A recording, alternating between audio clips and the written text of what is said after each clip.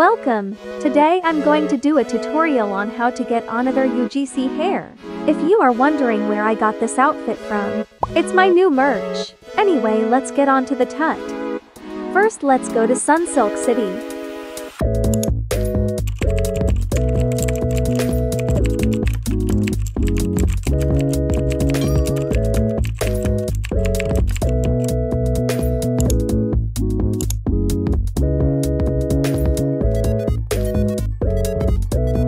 Now follow my steps.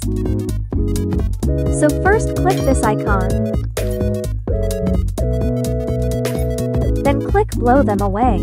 10 click take me there.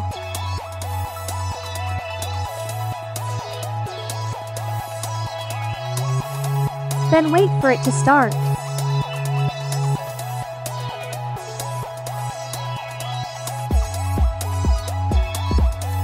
All you have to do is blow a cloud away.